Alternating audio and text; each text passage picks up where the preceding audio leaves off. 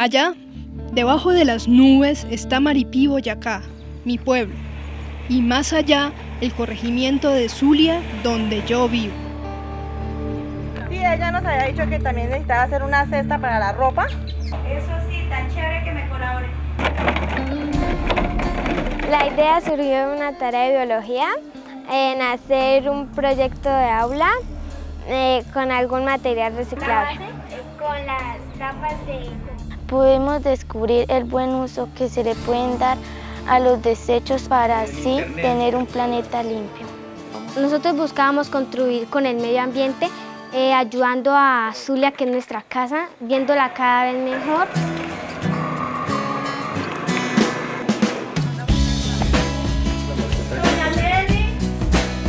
Nos fue muy bien porque obtuvimos una muy buena calificación y gracias a, a ese proyecto todos los del pueblo empezaron a recoger botellas. Gracias a la tecnología que ha llegado en estos momentos a Zulia, municipio de Maripí, eh, los niños tienen esa posibilidad de consultar el internet. Las comunidades se han interesado mucho en venir también a investigar, porque anteriormente no se tenía nada. Gente de Zulia, vengan al kiosco digital, que esto realmente es una innovación que gracias al gobierno hoy en día lo tenemos acá en Zulia.